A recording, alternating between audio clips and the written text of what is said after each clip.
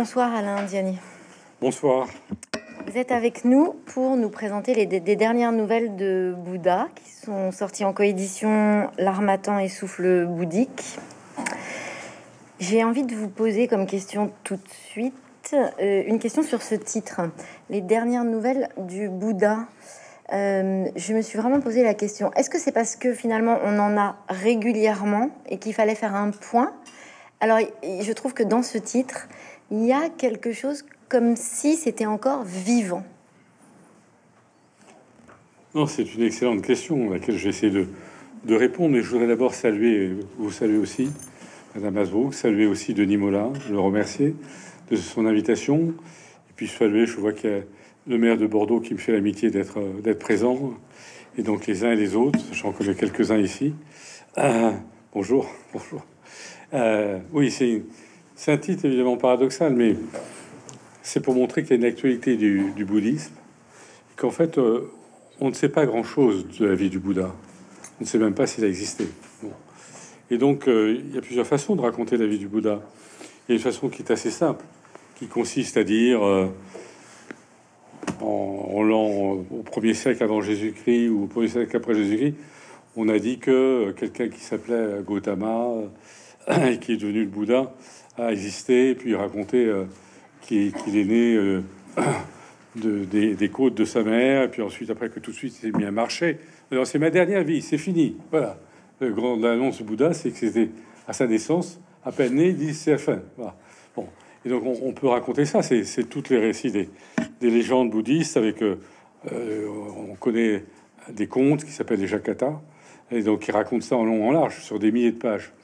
Et donc après il y a une, une autre approche qui a été euh, qui est venue, qui était l'approche archéologique. Enfin il y a eu d'abord l'approche des grands voyageurs chinois, puis ensuite une approche archéologique qui était évidemment qui a mis à jour un certain nombre de choses, mais qui pose la question est-ce que le Bouddha existait? Et alors, vous expliquez dans votre livre que c'était compliqué comme enquête finalement, puisque euh, ben, on ne sait pas très bien euh, euh, quelles sont les dates précises, on n'a pas de représentation. Enfin, donc vous expliquez la difficulté finalement pour retrouver, pour être sur les traces de Bouddha. Oui, on sait rien. on dit que si il doit y avoir quelqu'un, mais c'est un peu la même chose pour Jésus-Christ. Mais lui, il avait les apôtres qui ont rédigé immédiatement les le Nouveau Testament. Euh, mais autrement, euh, c'est la même chose sur Socrate. Hein, on ne sait pas grand-chose non plus.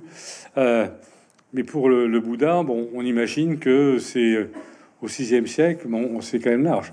Entre le 6e et le 4e siècle avant Jésus-Christ. Bon, donc c'est large. C'est un peu de temps, oui. oui, oui.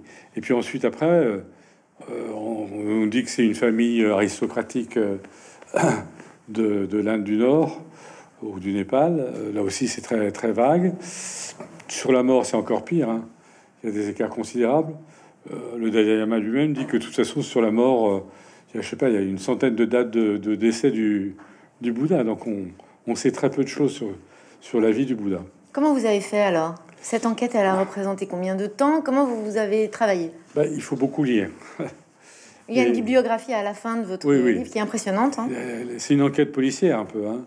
C'est-à-dire qu'il faut beaucoup lire, en laisser beaucoup, par exemple, si vous lisez les, grands voyageurs euh, chinois, en fait, pourquoi les, Chinois ont été, on est, ont été visiter les, lieux fréquentés par le Bouddha Parce qu'ils disaient, bon, tout ça nous paraît bizarre, et on veut avoir la vraie parole du Bouddha. Donc, pour avoir la vraie parole du Bouddha, mais après, là, on est après Jésus-Christ, hein, donc déjà plusieurs siècles après la naissance du Bouddha, on va y aller, quoi. On va aller sur place, on va visiter, on va essayer d'avoir des indices il y avait quelques grands monastères, mais euh, du bouddhisme. Et donc, on va aller discuter pour euh, essayer de trouver les, écrits. Ils savaient que ce n'était pas des écrits du Bouddha, puisque Bouddha n'a jamais rien écrit, mais pour trouver les écrits. Et donc, les, grands voyageurs chinois ont, passé plusieurs années. Hein. Plusieurs années, ils sont nombreux.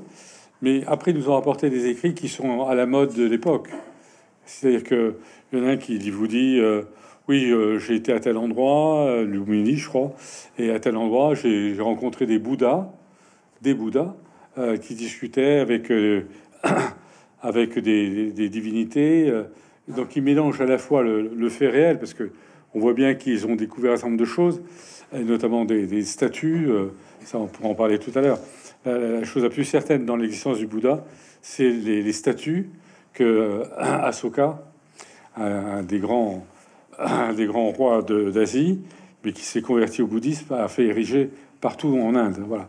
Donc c'est comme ça. Donc on a, on a regardé ça, et donc à partir de là, on, sait qu'ils ont été d'abord, et ensuite après, ils nous racontent quand même un certain nombre de choses exactes, mais mêlées avec beaucoup de légendes. Voilà. Et donc encore aujourd'hui, hein, des fois, je, lis des ouvrages sur la vie du Bouddha, c'est quand même étonnant, quoi. Dire qu'on a l'impression que l'archéologie n'a pas existé et qu'on nous raconte toujours que le Bouddha est, venu dans tel, tel endroit, et puis finalement il avait, il avait un ennemi, que l'ennemi voulait l'empoisonner, mais tout d'un coup, par la, magie des gestes du Bouddha, c'est la personne s'est convertie. À chaque fois que le Bouddha voit quelqu'un dans les légendes, il commence, l'ennemi veut le détruire, et à la fin, il devient le plus, grand des disciples du Bouddha. Et alors, dans ce livre aussi, vous racontez que finalement, ce personnage, il est à la fois très contesté, très soutenu. Donc, il y a des moments, on a l'impression qu'on lit la biographie d'un empereur. En même temps, vous expliquez qu'il c'est surtout pas une position de, de Dieu, un postulat de, de, Dieu. Donc, ce qui est compliqué aussi, c'est de vous de, de s'y retrouver dans des informations tout à fait contradictoires. Alors, empereur. D'abord, il faut voir quand, quand le Bouddha est né d'après la légende, mais euh, quand le Bouddha est né, euh, le père du Bouddha, qui était roi, bon, je viens de dire, euh, tout de suite, il a accueilli des devins, et les devins ont dit, celui-là, il deviendra maître du monde ou il deviendra maître spirituel. Voilà. Et c'était un grand drame pour le père. Parce que le père, comme tout père, il disait, moi c'est mon successeur. Hein. Bon, j'ai un royaume qui était tout petit d'ailleurs, mais c'est lui qui va me succéder. Et là, tout d'un coup, on lui disait, ah, c'est pas sûr. Hein. Lui, peut-être qu'il a tous les signes. Alors, vous savez, les signes, c'est des des, des, tempes, des, traces sur le front, les mains, etc., les, oreilles qui pendent et tout ça. Euh, il a tous les signes pour devenir euh, un des grands maîtres spirituels euh, ou le grand maître spirituel. Et là, le père était désespéré, bon, désespéré. Et donc le père, c'est, ça fait partie des, des, mythes, mais très intéressant du Bouddha. Le père a voulu surtout préserver son fils de cette destinée. Et donc le père a fermé à clé, vous voyez, comme un père aujourd'hui pour enfermer son fils pour pas qu'il sorte dans des boîtes de nuit. Lui, c'était pour pas qu'il voit la réalité du monde.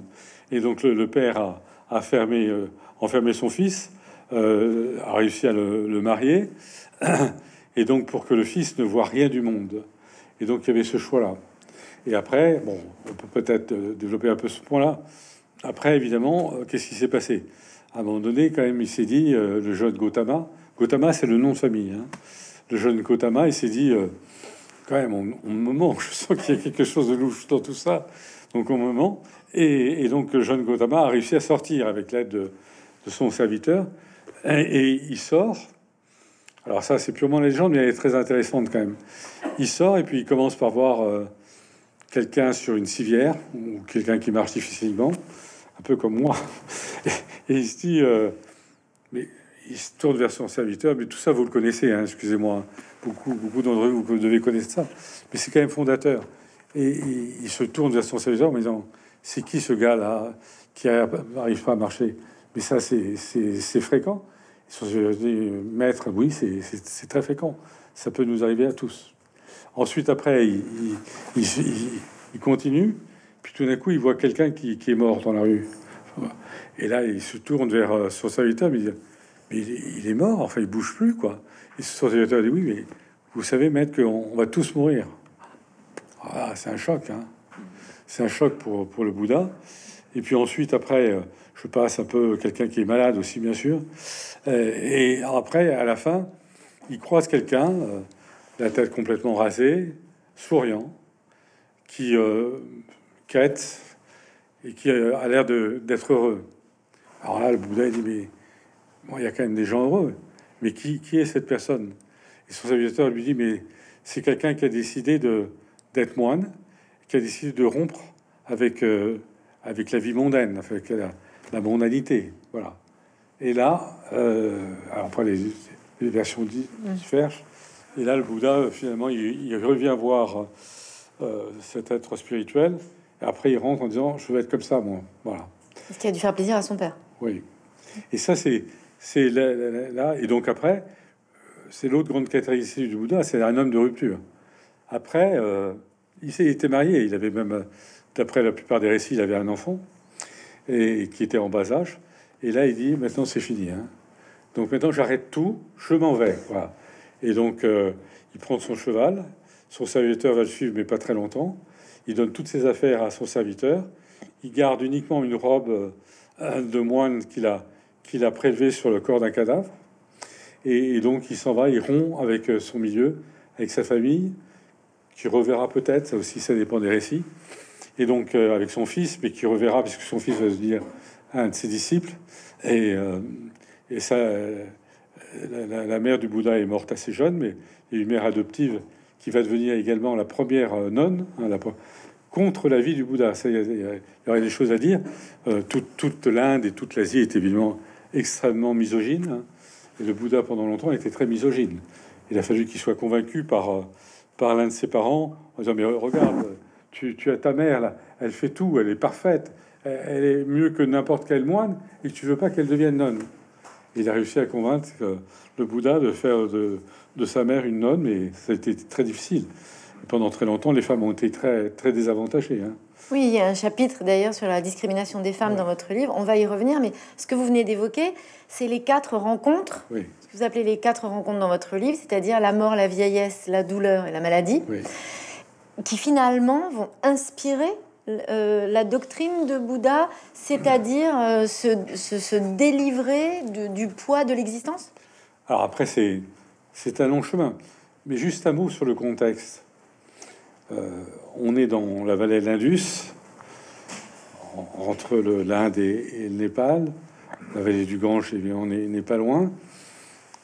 Et moi, ça m'a beaucoup frappé, ça. C'est-à-dire que, en fait, il y a une grande crise spirituelle. Vous voyez, nous, on a des crises avec nos enfants, là, des fois, où on a le phénomène des gilets jaunes. Et eux, enfin, c'est pour une minorité, hein, c'est toujours pareil. On déforme beaucoup parce qu'en fait, tout ça, ça, ne concernait qu'une infime minorité. Mais voilà, il y avait une grande crise spirituelle de gens euh, qui rompaient avec le, védisme, donc le Veda, et avec l'hindouisme. Et en fait, l'hindouisme et le bouddhisme sont assez, contrairement à ce qu'on pense, ils sont assez contemporains. Euh, et donc, qui, qui se disaient, mais où va-t-on quoi? Enfin, je simplifie. Hein. tout ce que je dis, je caricature, mais je suis obligé. Hein. qui, simplifie en disant, mais où va-t-on quoi? Et donc, euh, quel est le sens de tout ça? Quel est le sens de tout ça? Et cette grande question du sens, a beaucoup perturbé toute, toute l'Inde de cette époque-là. Euh, et, donc, il y a beaucoup de gens qui vont devenir Samyasin, c'est un des noms des, des moines errants ou des gens errants. Euh, et donc, après, il y avoir 36 écoles. Euh, il y a ceux qui, vont commencer par se flageller, se punir, hein, se casser un bras, se tordre une cheville, voilà, se couper des membres, en disant plus on, martyrise son corps, et plus on va arriver à, sortir de ce monde et atteindre l'éveil. Bon, ça c'était une des très grandes tendances de, de, l'Inde, euh, avec plusieurs écoles. Donc ce que je dis n'est pas valable pour tout le monde, mais quand même globalement c'était assez dominant. Et là, euh, le jeune Gautama, euh, il va suivre ce chemin à un moment donné, jusqu'au jour où il tombe presque évanoui. Il y a des, représentations du Bouddha qui montrent le Bouddha complètement décharné, décharné. Hein. Et on dit souvent le nombril qui touche la colonne vertébrale, complètement décharné. Euh, et il se dit, mais quand même, là, j'allais mourir. Alors après, il ne meurt pas parce qu'en fait, il y a quelqu'un qui lui, une jeune femme qui lui apporte un bol de riz, euh, voilà, mais pas plus. Quand il mange cinq grains de gris, il craint d'avoir de mourir de, d'excès.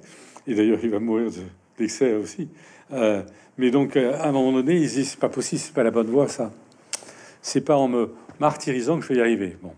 Et donc, euh, c'est euh, l'éveil qui va se produire du côté de Sarnat, là, du côté de. non, c'est pas d'ailleurs, c'est pas du côté de Sarnat, c'est du côté de Gaya. Et donc, du côté, c'est au, sud, au sud-est du nord de l'Inde. Et donc euh, là, il va être sous l'arbre de, de, la Bodhi, donc on voit encore, hein, enfin, on voit sans doute des rejetons de, l'arbre originel. Et donc là, il, se met à, méditer profondément. C'est une nuit d'enfer, parce que les, dieux ou les divinités viennent le tenter en disant non, euh, écoute, regarde, la vie est belle, tu devrais épouser toutes les plus belles femmes qui, vont tomber amoureuses de toi tout de suite, on, t'en donne l'assurance.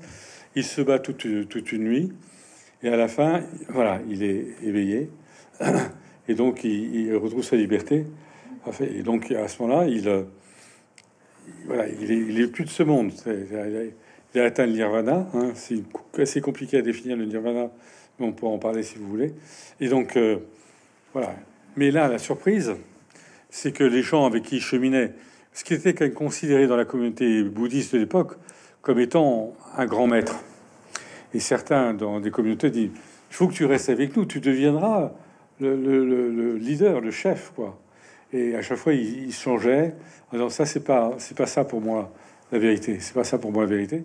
Et donc quand même, il y avait quelques-uns qui, l'avaient, suivi et qui là euh, rompre avec lui en disant euh, mais on a vu le Bouddha se nourrir.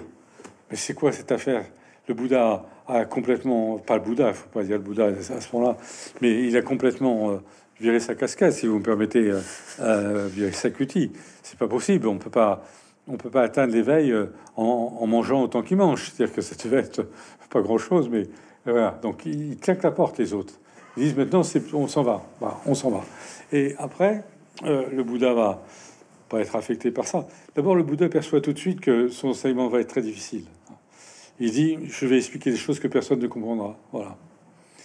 vous disiez le nirvana, donc en fait, ce qu'on voit bien aussi dans votre livre, c'est que il faut du temps. Il y a un paramètre temps qui est très important. Que lui-même, il dit, bah, il faut du temps, il faut du temps pour écrire ma doctrine, il faut du temps pour arriver à. Il y a, voilà, le, la question du temps est fondamentale. Donc, est-ce qu'il sait d'avance qu'il va viser le nirvana ou est-ce que finalement il le découvre en cours de route? Alors là, ça va dépendre aussi des écoles, hein. euh, parce que lui, il n'a rien écrit. Donc, euh, pour certaines, certaines écoles, il savait tout avant même de naître, parce qu'il était déjà euh, bodhisattva, c'est-à-dire un futur Bouddha avant de naître et que les Bodhisattvas, euh, enfin, on peut en parler plus précisément, mais ils savent quelles vont être euh, leur vie au pluriel. Voilà. Ils savent que c'est un enchaînement de vie, qu'à un moment donné, il y aura la, la vie où ils vont pouvoir s'éveiller et devenir euh, Bouddha. C'est pour ça que parfois on dit qu'il y a plusieurs Bouddhas. Donc lui, il a appris ça. Quand on lit quand même les, les, premiers récits, si on peut dire les premiers récits, mais on n'a pas cette impression. On a l'impression que lui-même, il, découvre et qui souffre. Le Bouddha souffre.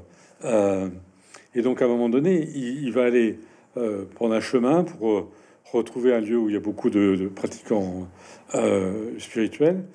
Et là, il va retrouver les, les quatre ou les cinq disciples qu'il avait quittés. Et là, il va leur expliquer sa doctrine. évidemment, immédiatement, pas tout, pas immédiatement d'ailleurs, mais en tout cas, le plus, le plus âgé se convertit tout de suite au Bouddha. Et alors là, c'est les quatre vérités. Hein. Et donc, il enseigne les quatre vérités, mais aussi beaucoup d'entre vous, vous devez les, connaître. Mais les quatre vérités, elles sont, elles sont très simples et très fortes. La première, c'est une question, c'est euh, un constat, c'est que tout est souffrance. Voilà. Alors ça, c'est difficile à comprendre. Mais le terme de souffrance, en fait, le terme exact, c'est dukkha, mais un peu difficile à traduire, mais ça veut dire euh, euh,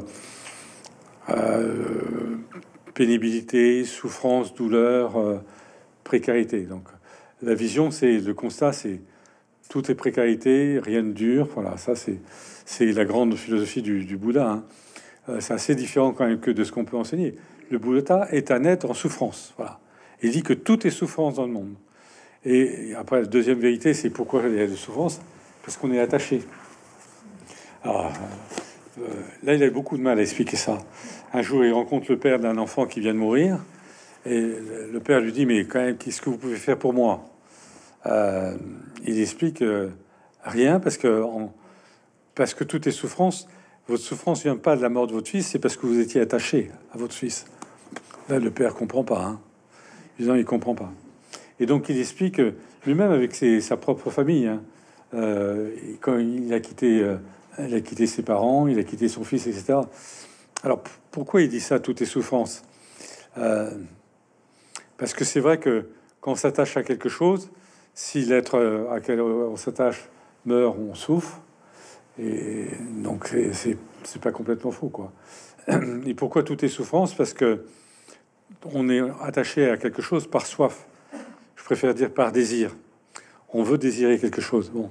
Et j'avais un prof à la Sorbonne qui avait une excellente, je le marque dans le bouquin, qui avait une excellente formule, mais je trouve que c'est, est très belle, euh, très explicite. Oui, pour les fumeurs, il doit y en avoir dans la salle. Mais la métaphore, évidemment, va au-delà. Vous aimez fumer, vous sortez votre cigarette, vous la mettez dans la bouche, vous mettez le feu à votre vous avez aimez vos cigarettes. Quelques minutes plus tard, il reste que de l'ascendant. C'est très explicite. Euh, on, a soif de quelque chose, on a, on a besoin, on a un désir de quelque chose, et plus on le consomme, plus la chose n'existe pas. Voilà. On se termine avec de, avec de, de l'ascendant. Moi, ça m'a, c'est vieux pourtant, ça m'a beaucoup marqué. Et, il a raconté ça dans l'amphi et on était tous passionnés. Alors, et après, il y a la quatrième vérité. Oui, pardon. Euh, qui est, euh, mais il y a une solution. Alors après, ça, c'est à, à, la manière hindouiste, ou enfin hindouiste, pas, surtout pas, mais à la manière asiatique, c'est-à-dire les solutions, c'est les 8 octubes, le, chemin à 8 octubes, etc. Après, c'est. Mais ça, je pense que c'est. J'appelle ça, je choquais personne, hein, mais c'est l'église bouddhiste qui, après, a, beaucoup euh, bureaucratiser tout ça. Hein. Moi, je suis assez sévère avec, le, bouddhisme d'aujourd'hui, mais parce que pas sévère, c'est pas le mot, mais c'est trop, trop bureaucratisé, quoi. Et donc, notamment, euh, mais ça, ça date quand même au début du, siècle, enfin du, nouveau siècle. il fallait expliquer, donc il fallait tout est détaillé, les huit chemins, mais que même sont soutenus les dimensions, etc. Ça, ça m'agace beaucoup dans le, dans, le, le bouddhisme. Il y a des bouddhismes plus simples que celui-là, mais c'est le bouddhisme qui a triomphé, qu'on appelle le Mahayana. Vous l'expliquez dans votre livre, vous dites que finalement vous décidez, au début du livre, vous, expliquez, vous décidez de faire un commentaire critique de cette enquête.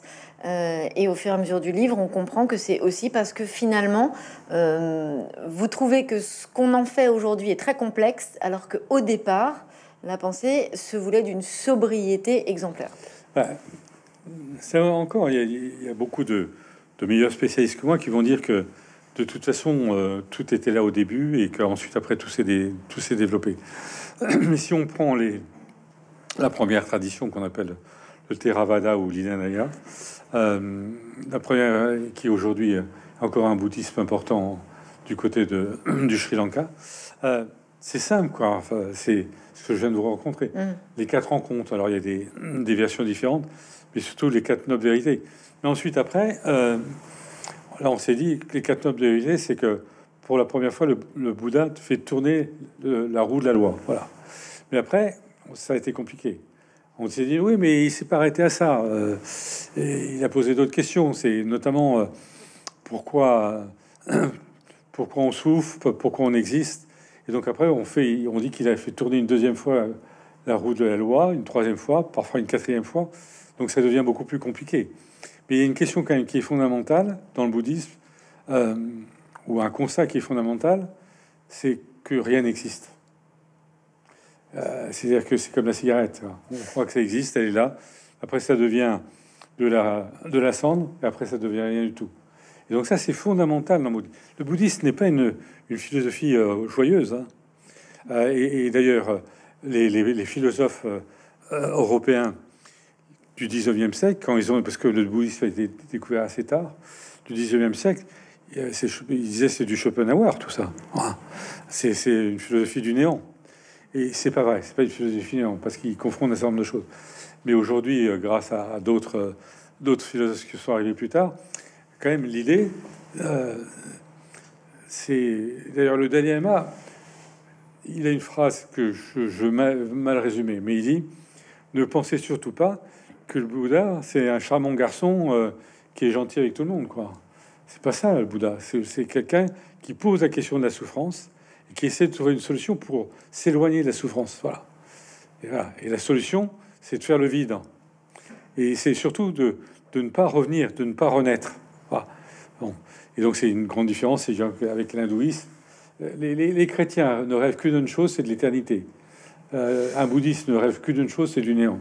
Parce que avec l'éternité, c'est une somme de souffrance infinie. Qui va durer plus longtemps, euh, certes. c'est ça. Et donc, donc le, néant, le vide, l'inexistence. et après, ça devient joyeux parce qu'on accepte l'inexistence. Voilà. On se dit, bah, finalement, c'est comme une autre question. J'enchaîne un peu là. Je vous en prie. Mais est-ce que, est-ce que le, je dis ça parce que c'est des points de divergence avec ce que je peux lire souvent. Est-ce que le, bouddhisme est, une morale? Ben Moi, je dis que non. Enfin, c'est pas du tout la préoccupation du, Bouddha. La du Bouddha, c'est sauver sa peau, ou plutôt de, la perdre. Mais, euh, c'est, mais pourquoi, pourquoi ensuite après, il y a une, dimension morale et éthique très forte hein, dans le bouddhisme, ça je ne nie pas. Mais c'est pas l'objectif du Bouddha. Euh, L'objectif, c'est de c'est d'arriver à, être le meilleur possible. Et, pour ça, c'est de rompre avec la loi du karma. La loi du karma, c'est une très ancienne loi de l'Inde et hein, qui est encore évidemment respectée en Inde. Et la loi du karma, en gros, elle permet d'expliquer pourquoi un salaud va, dans une prochaine vie, être heureux et être en pleine santé, et pourquoi le meilleur des hommes va avoir une, vie après qui est la pire des vies, quoi, avec des enfants qui meurent, lui-même, etc. Le karma explique ça, c'est-à-dire que vous payez dans la vie suivante ce que vous avez investi dans la vie précédente. Et donc ça, euh, c'est une des raisons qui vous incite à être sage. Je ne vais pas être méchant, je vais pas être ceci, parce que je vais le payer plus tard. Après, il y a des déviations. Euh, j'ai vu, par exemple, en, Tibet, euh, euh, des, gens qui le mont Kailash, un mont très important qui est ils font ils, escaladent le, mont Kailash à plus de 5000 mètres. On, l'a fait, hein, c'est quand même très éprouvant. Mais après, il y a un endroit où les gens ils peuvent venir et puis ils se déchargent de tous les péchés, ils repartent à zéro quoi. Et les compteurs sont remis à zéro. Bon, mais donc le, bouddhisme a une éthique très forte parce que c'est un prolongement du karma parce qu'il faut, et donc ensuite après, même il faut pas faire de mal aux animaux. Euh, il n'est pas vrai que les bouddhistes soient tous végétariens. Hein. Euh, d'ailleurs, il y a l'anecdote de, la mort du Bouddha. Dans, beaucoup de récits, euh, le Bouddha meurt parce qu'il a fait une consommation excessive de, porc. Hein, alors, il était malade avant, mais les derniers moments du Bouddha, près de Kushinagar, c'est que on lui offre quelqu'un le, voit, il était connu quand même, évidemment, à la fin. Quelqu'un lui prépare un, plat en sauce, enfin en sauce, j'en sais rien, mais en tout cas un plat de, un, plat de viande, et après euh, il meurt euh, dans, dans, le jour suivant. Quoi. Donc il mangeait bien de la viande. Hein. Mm. Vous en faites plusieurs parallèles euh, dans ce livre avec euh, Jésus-Christ. C'est très intéressant parce que vous faites aussi des parallèles entre les divergences, bien sûr, mais dans ce principe de raconter que tout d'un coup on est entre la légende, euh, la déification, la bonne parole. Par contre, vous montrez aussi bien qu'effectivement, la grande différence, c'est que dans l'univers de Bouddha, il y a un vrai lien au vivant, quoi qu'il arrive. Et puis surtout, euh, l'objectif, c'est quand même de, se transformer soi-même. Mais on retrouve ce que vous disiez à l'instant, c'est-à-dire que finalement, il faut quand même être sage pour espérer à un moment donné tout à fait, tout à fait. être euh, pour pas charger le karma. Bien loti. Voilà, c'est ça. Alors après, c'est dans, dans, les suites euh, de la mort du Bouddha, c'était la panique, quoi. C'est très intéressant la, description. Il y a des grands spécialistes qui s'appelle André Barbeau, qui a beaucoup écrit là-dessus, des, des, volumes entiers. Hein. Et il, raconte la mort du Bouddha.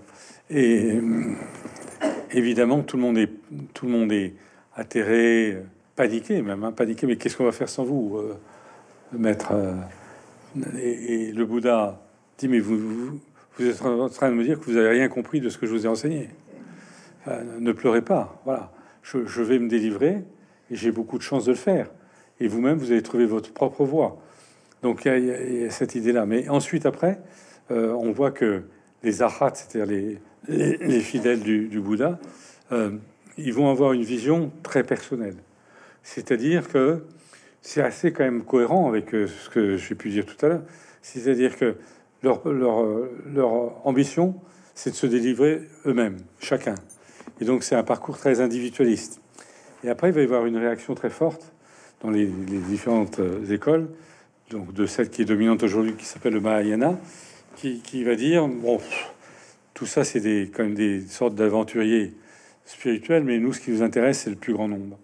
Et donc, vous allez avoir un grand mouvement du Mahayana pour dire il faut rompre avec tout ça. Et donc, il faut, euh, on va inventer les bodhisattvas.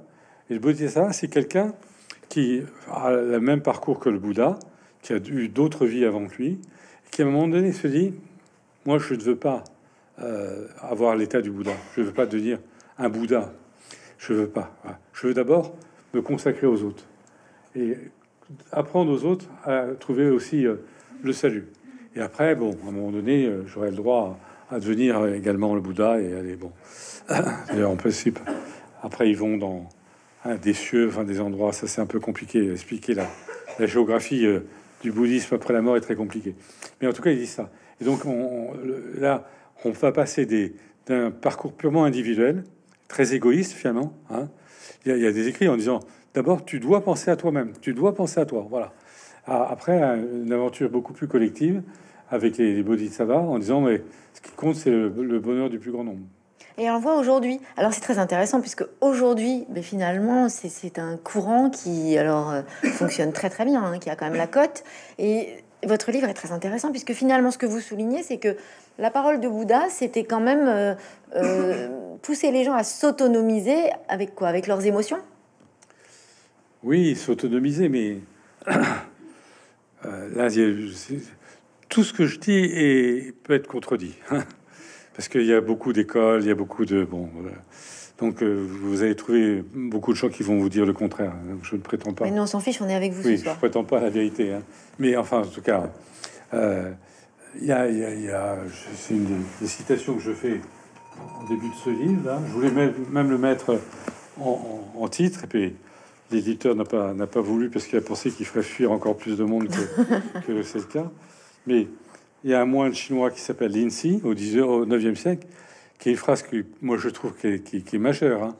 Euh, c'est si vous rencontrez le Bouddha, tuez-le. Voilà. Ah oui, c'est vrai qu'en titre, c'était peut-être ambitieux. Oui, c'était un peu choquant. Peut-être, peut-être. Mais, après l'INSI, il ajoute si vous rencontrez vos parents, tuez-les. Si vous rencontrez votre meilleur ami, tuez-le. Voilà. Et etc., etc. Mais qu'est-ce que ça veut dire?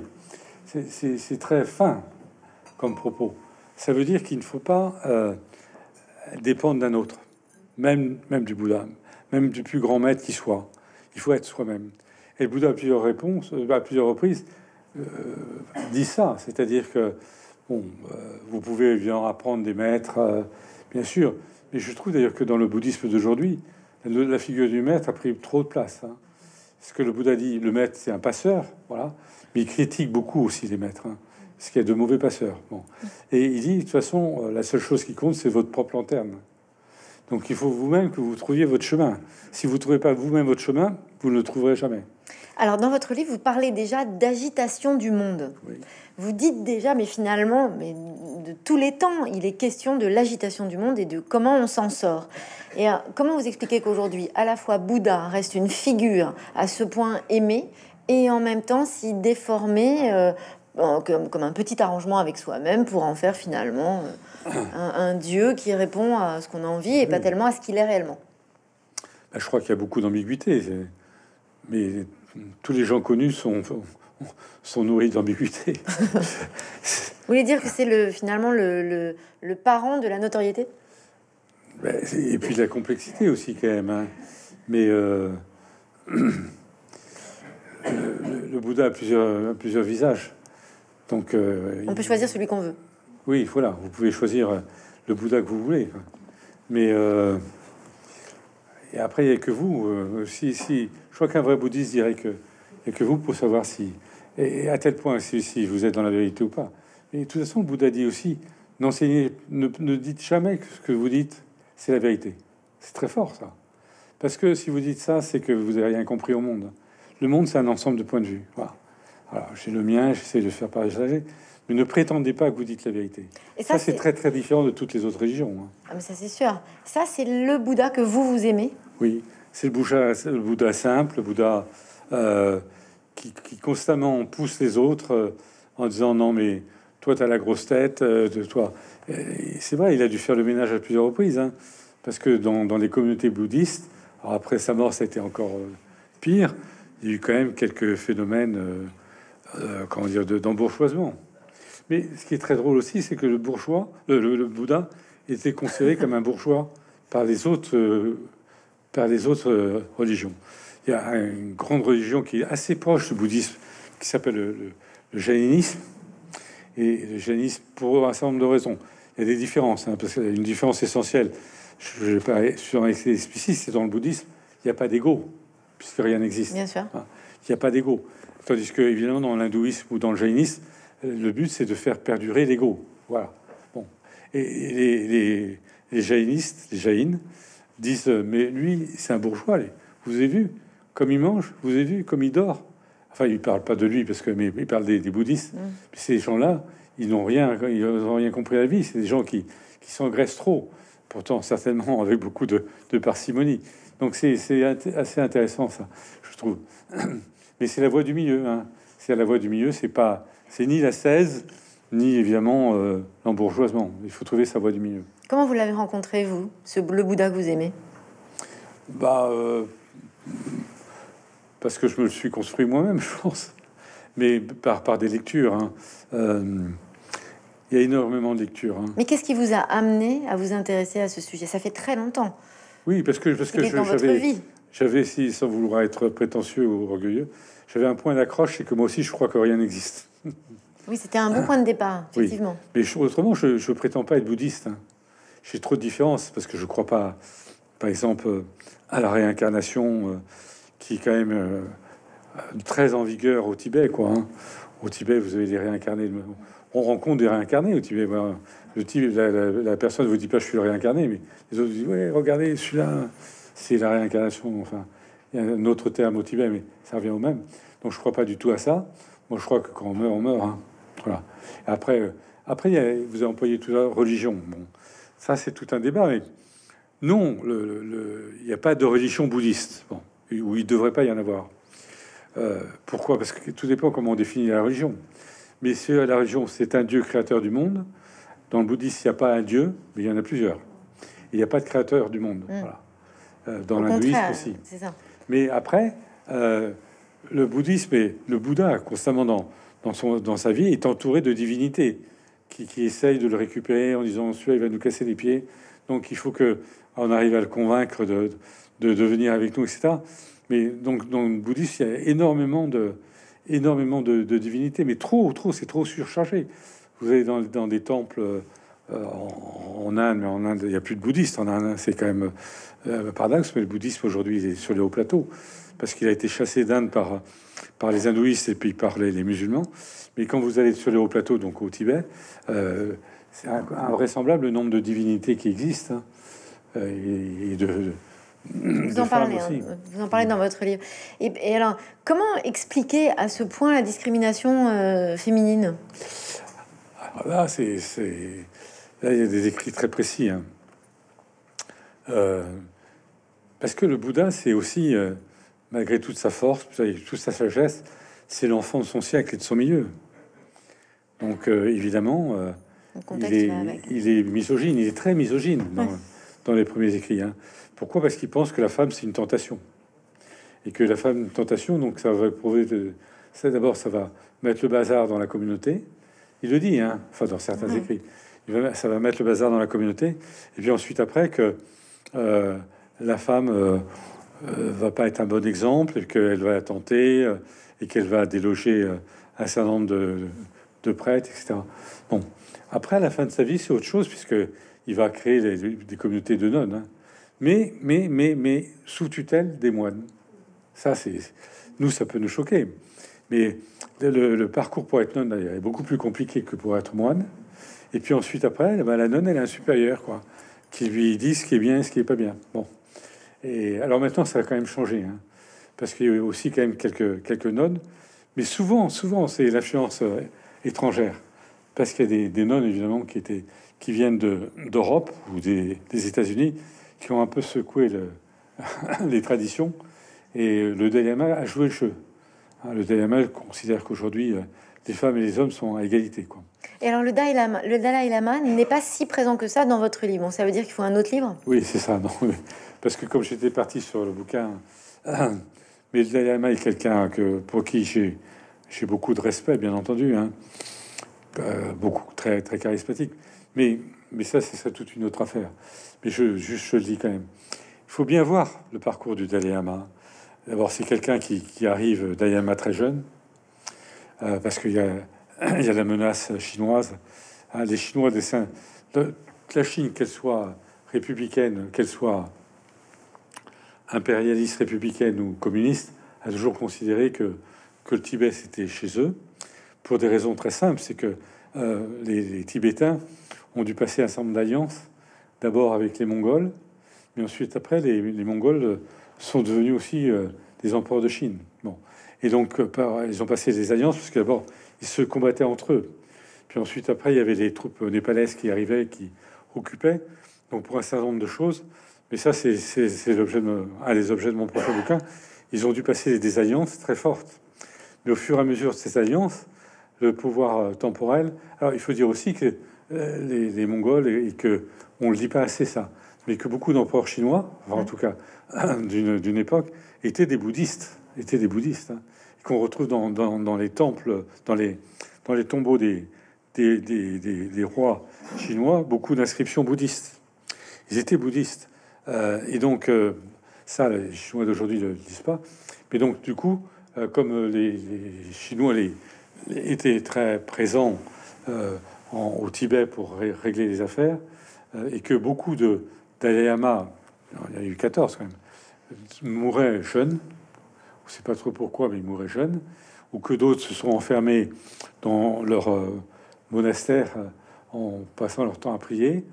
Ou qu'il y en a même eu un qui, a lui fricoté un peu. C'est-à-dire qu'il a préféré ne pas être euh, recevoir l'ordination parce qu'il préfère les auberges de, de Lassa à toute autre chose. alors lui, il a été complètement, on sait pas trop ce qu'il est devenu, mais voilà. Donc en tout cas, les, Chinois considéraient que c'était chez eux. Et donc euh, quand ensuite après euh, Mao est devenu à, conquis la Chine, très rapidement, il a considéré qu'il fallait envoyer des troupes là-bas. C'est par milliers, avec le matériel nécessaire, qu'ils ont déferlé sur les pauvres Tibétains qui, priaient. Ils priaient. Ils disaient, on, va faire quelque chose pour nous. Euh, évidemment, ça pèse pas lourd hein, face à, des, armes. Et donc, ils ont été complètement envahis. Et puis ensuite, après, il y a eu euh, l'épisode très, très, très triste, très terrible de la révolution culturelle, qui était terrible, terrible. Ah, il faut voir que quand vous allez au Tibet, quand vous trouvez un, monastère, je parle pour l'essentiel, hein, pour il y a des exceptions. Bah, vous vous dites que oh, c'est bien ça. En fait, le monastère, il a été reconstruit. Hein. Mais pendant la révolution culturelle, il avait été complètement détruit. Les, Chinois ont forcé les, les, moines à épouser les nonnes. Ils ont pillé constamment le, Tibet. Ils ont tué beaucoup, beaucoup de monde, beaucoup de monde. Hein. Quand je dis beaucoup de monde, c'est un millier, un million de personnes. Et parfois avec, euh, ah, là aussi, ça va pas faire plaisir, mais parfois avec le soutien d'un certain nombre de Tibétains qui la veille admiraient le Dalai Lama et qui le lendemain ont admiré Mao Tse-tung. Voilà. Euh, donc il y a eu ça, et puis ensuite après, euh, évidemment, euh, le jeune Dalai Lama et le Panchen Lama, qui est le figure numéro 2, ils ont été mis sous, sous tutelle. Hein. Ils ont été à Pékin, ils ont été même fascinés par Mao Tse-tung. Hein. Le Dalai écrit un poème à, Mao Tse-tung en disant que c'était le, soleil qui brillait. Donc, et, le Dalai Lama disait, mais finalement, ça peut être un, un modèle ou d'égalitarisme et un modèle aussi donc euh, de spirituel. Mais après, il a désenchanté parce qu'un jour, euh, Mao, qui se préoccupait pas de courtoisie, a dit de toute façon la, la religion c'était c'était le poison du peuple. Il a repris une formule sévère. Ça, le jeune Dayama n'a pas compris cette phrase-là. C'est ensuite après qu'il y a eu les rébellions. Vous êtes allé très souvent au Tibet? Pas très souvent parce que là, en plus, ces dernières années, j'ai pas pu y aller, mais j'étais cinq fois au Tibet, au Népal, en Inde. Ouais faites à, la fin de votre livre, il y a un, tour en fait de différents pays. Hein. On va en Chine, on va en Inde, on va, enfin voilà, vous vous, vous racontez finalement, c'est un voyage. De, de Mathieu Ricard, il a dû aller, qu'est-ce qu'il m'a dit, euh, une vingtaine de fois au Tibet. Hein. Et c'est pas euh, facile d'aller au Tibet. Et c'est pas facile. Non, c'est pas facile du tout. Aujourd'hui, on peut pas y aller. Hein. là, pour des raisons paraît-il sanitaires. C'est quand même la région de, de Chine qui est la, la moins contaminée. Mais c'est bon. De vos voyages au Tibet, euh, quel, est, quel, quel moment vous a le plus marqué? Peut-être le premier, parce que euh, le premier, vous, vous sentez tout de suite, vous arrivez, là on est arrivé par le train, parce que je voulais prendre le train le plus haut du monde, mais il n'est pas très populaire parmi les, Tibétains, le train, parce que c'est aussi le train des prisonniers. Et, donc en arrivant, moi justement, en arrivant à la gare de Lhasa, bah, qu'est-ce qu'on a vu? C'était effectivement qu'il y avait des, prisonniers qui étaient agenouillés, euh, très surveillés. Ensuite, après, pour sortir, on vous demande 15 fois la même chose. Puis ensuite, après, dans, dans les rues, dans les rues de, de Lhasa, vous avez d'immenses portiques à chaque fois euh, qui sonnent. Parce que c'était la période où il y avait des Tibétains qui, se brûlaient vifs pour protester. Donc la grande peur des, autorités chinoises, c'est qu'ils aient des, briquets. Donc ils confisquaient tous les briquets. Et puis ensuite, après, quand vous allez sur la place du Joconde, euh, j'ai pu prendre quelques photos, mais c'est quand même fou. Vous aviez euh, des, pompiers qui étaient là, l'armée qui était là. Et, je me souviens très bien d'avoir été dans, dans un des grands monastères, je crois que c'était à Ganden, où euh, on était là, on était seul étranger. Hein. Euh, et il y avait un moine avec on avait un guide que je connaissais et euh, qui, qui, a demandé mais qu'est-ce qu'ils font là Cela, c'est des amis des Chinois. Et parce que vous aviez la, police dans les monastères et même dans les temples, dans les temples. Donc ça évidemment ça, ça choque. Et puis après avec les gens avec qui on a beaucoup sympathisé, bon c'était quand même triste parce que vous avez surtout vous ne dites rien. D'ailleurs c'est pour ça que j'ai pas voulu écrire sur le Tibet parce que je pense que c'est, je peux pas tout raconter, mais euh, ils viennent dans les maisons, et ils, regardent tout. Ils, si vous, la photo du Dalai Lama est tout à fait interdite. Hein. Donc c'est aujourd'hui, c'est une vraie dictature. Hein. Je regrette que notre pays euh, n'ait accepté cette dictature. Et pourtant, vous avez essayé d'œuvrer pour. Euh, oui, oui, j'ai été vice-président du, du, groupe euh, d'études, parce qu'il faut surtout pas dire groupe d'amitié euh, France-Tibet.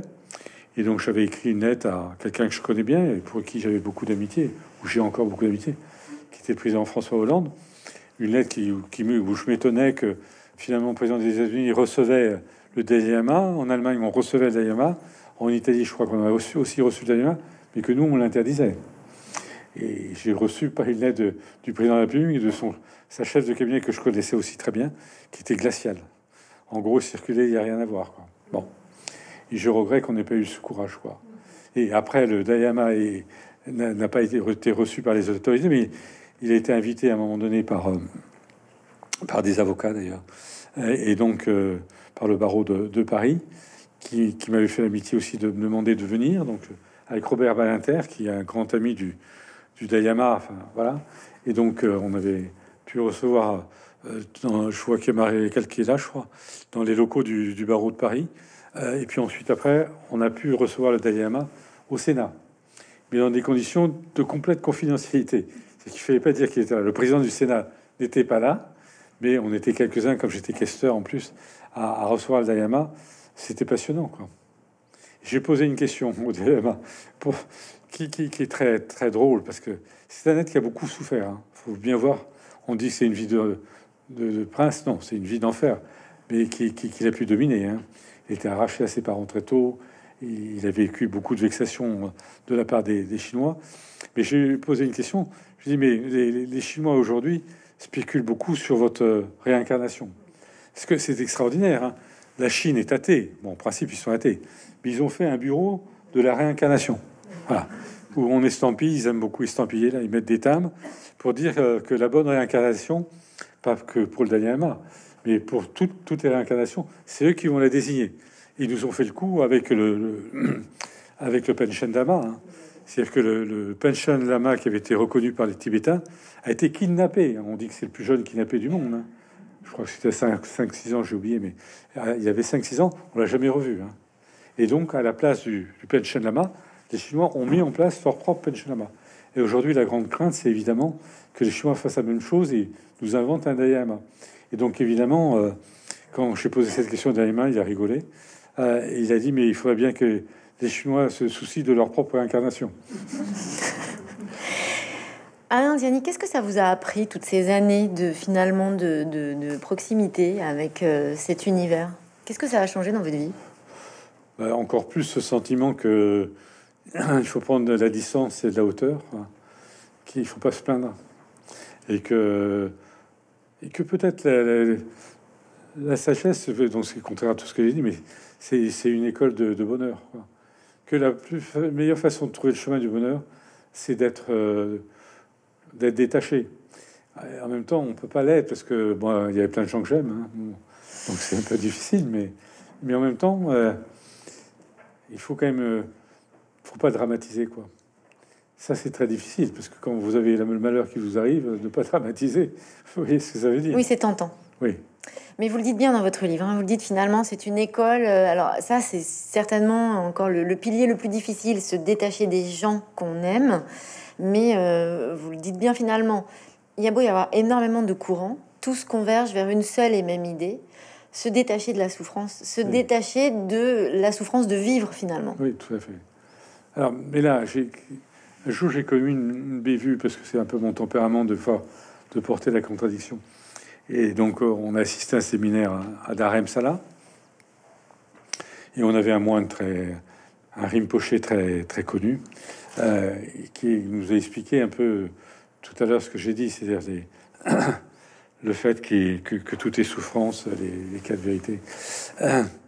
et puis, euh, bon, j'ai eu tort, je pense, mais j'ai quand même fait remarquer que on pouvait pas dire que tout était souffrance, parce qu'il disait, euh, regardez, l'enfant vient de naître, qu'est-ce qu'il fait? La première chose, c'est qu'il se met à crier. Bon, donc souffrance. Ensuite, après, il y a la maladie, donc euh, les gens supportent mal la maladie, puis à la fin, il y a la mort. Et j'ai osé ça me faire remarquer que l'enfant peut-être criait, mais ensuite après, il souriait, et qu'il y avait une relation très profonde avec euh, les gens qui l'entouraient, et que l'enfant n'était pas malheureux. Voilà il avait pu avoir ce moment de détresse au moment de la respiration, mais qu'ensuite après, il y a beaucoup d'enfants qui sont heureux, qui avaient des maladies, mais qui avaient aussi des, guérisons. Voilà. Après, sur la mort, ça, il n'y a, rien à dire. Voilà. C'est plus compliqué.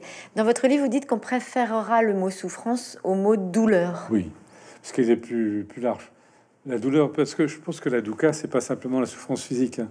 ça peut être aussi la souffrance morale. Euh, et puis, c'est le sentiment que quand vous êtes dans l'instabilité ou dans la précarité, vous n'êtes pas bien, quoi. C'est ça. Comme tout est précaire, forcément, vous n'êtes pas bien. Aujourd'hui, vous, êtes heureux, et euh, ce soir, oh, peut-être que vous êtes malheureux. Et c'est cette impermanence, un mot très important dans le bouddhisme. Cette impermanence, gens, est mal supporté par beaucoup de gens. Oui, on en revient à l'histoire du temps. Donc, je, disais tout à l'heure, vous en parlez beaucoup hein, dans ce livre. Vous dites finalement, il faut quand même être patient. Hein. Oui. Il faut apprendre. Il faut apprendre à être patient. Oui. Il faut apprendre à être patient. Mais souvent, euh, là aussi, je pose la question euh, à des amis tibétains. Je leur dis, mais vous qui avez beaucoup souffert, est-ce que quand vous étiez dans ou, ou ça c'est plutôt des lectures que j'ai une réflexion quand je dis des choses. Quand vous étiez dans des camps, est-ce que vous avez moins souffert que les autres? Voilà, c'est ce que quand vous êtes euh, blessé dans votre chair, c'est un peu difficile quand même. Alors, il y, a, un très très beau livre là d'un ancien médecin du, du Dalai Lama qui raconte tout ça, qui lui dit que effectivement, euh, quand il était dans les camps avec euh, des tortures, etc., il s'en sortait mieux que d'autres parce que justement, il, méditait, qu'il avait cette, cette distance avec les choses. Mais bon, je crois que c'est difficile. Hein. Je vous propose qu'on reste sur cette parole euh, qui est à méditer quand même pas mal parce qu'il est euh, dans votre livre on voit bien c'est très philosophique c'est aussi très symbolique euh, le bouddhisme c'est un votre livre est un appel à penser encore et finalement ce serait infini quasiment merci Alain Diani merci à vous merci.